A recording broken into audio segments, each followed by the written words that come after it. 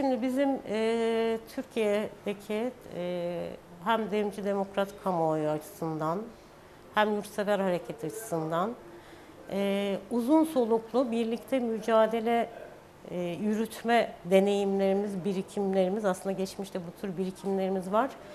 E, ama bu deneyimlerimiz zayıf ve az. E, sorunun öznesi kimse onun tek başına muhatap kaldığı, birleşik bir e, mücadele ve direniş cephesi öremediğimiz için bugün DEM Partili Hakkari Belediyesi'ne kayyum atandığında bu DEM Parti'nin sorunu oluyor.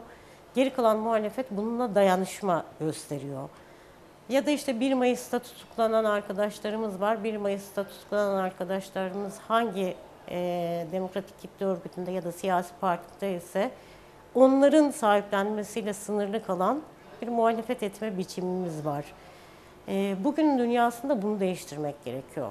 Yani biz Kürt halkıyla dayanışmak istemiyoruz. Çünkü Kürt halkıyla dayanışmak demek onun bir sorunu var ve onun sorununu gidermek için ona destek olacağım demek. Oysa bu sorun hepimizin sorunu. Bugün Hakkari'de yaşanan kayyum siyaseti e, buna izin verirsek ve bunu geri püskürtmeyi başaramazsak yarın Diyarbakır'da olur. Evet önce Kürt'e de tokatı basıyor. Ses çıkarmadığında sonra o tokat geliyor seni buluyor. Öbür gün İstanbul'da olmayacağının, İzmir'de olmayacağının hiçbir garantisi yok. Tek bir garantisi var onun. Eğer iktidarla uzlaşıp kent rantının paylaşımında alan açarsanız evet size dokunmaz. Ama eğer sosyal demokrat bir belediyecilik yapmak istiyorsanız, eğer demokratik bir ülkede adaletin, hukukun herkese eşit paylaşıldığı bir ülkede yaşamak istiyorsanız kayyum siyasetine kendi sorununuzmuş gibi ki öyle karşı çıkmak lazım. Kesinlikle şunu e, görmemiz gerekiyor. E, demokratik bir ülkede siz asla kayyumlarla e, bir ülkeyi, bir belediyeyi, beldeleri yönetemezsiniz.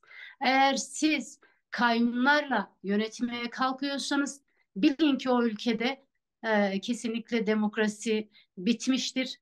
E, halkın e, ifade özgürlüğü bitmiştir. E, halkın iradesi kesinlikle yok sayılıyordur. E, ve bu şekilde e, zorla, zorbalıkla, faşizm koşullarında e, silahların gölgesinde bir ulusun, bir halkın özellikle en başta da Jolamerk halkın iradesini siz gasp ediyorsunuz ve oraya kayyum atıyorsunuz. E, bundan dolayı bu kesinlikle e, Türkiye'de bir e, siyaset haline almaya başladı. E, ama halk kesinlikle bunu kabul etmiyor.